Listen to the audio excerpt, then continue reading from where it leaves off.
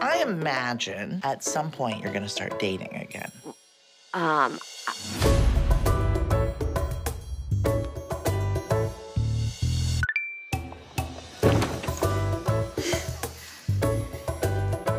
This is my first date since my wife died. Ladies and gentlemen, a date with sex writer Carrie Bradshaw. sex writer? Like what, what? What? Like I write porn? He's here. Stand in front of me. What's the lifespan of an unanswered text? Right being weird. Well, I don't know how to be. You never wrote me back. Let's just stay loose. We got this. I got it.